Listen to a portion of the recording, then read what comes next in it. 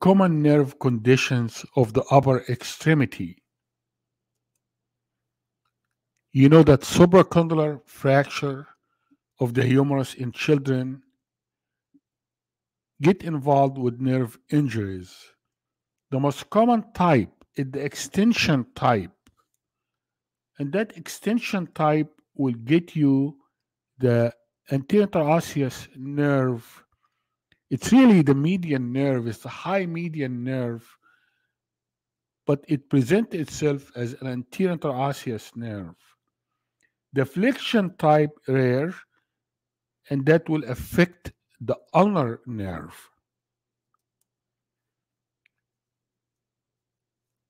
When a patient is affected by the anterior interosseous nerve, that person cannot do the okay sign with his hand or her hand. There's another problem for the median nerve, and that is a small little bony process called the medial process of the humerus, which you can see it here. That process is attached to a Struthers' ligament, Struthers' ligaments, and it can affect the median nerve. Struthers' ligament affects the median nerve.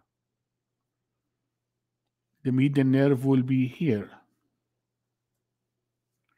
Arcade of Struthers is a different name, but it affects the ulnar nerve.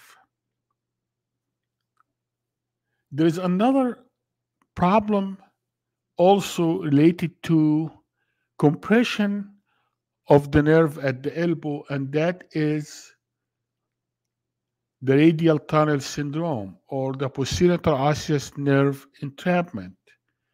So the proximal fibrous border of the superficial belly of the supinator muscle will affect the posterior interosseous nerve, and that's called the arcade of Frohse. The arcade of Frohse.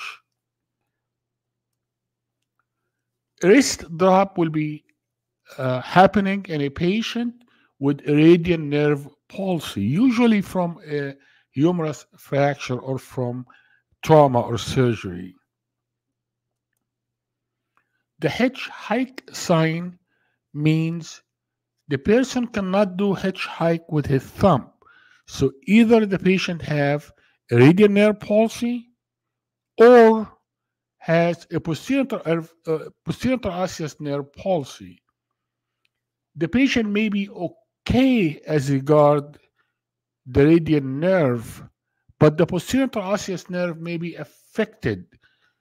So if the posterior interosseous nerve is affected, and this is the only one that's affected, then the patient cannot do the hitchhike or extension of the fingers, but the person will be able to extend the rest.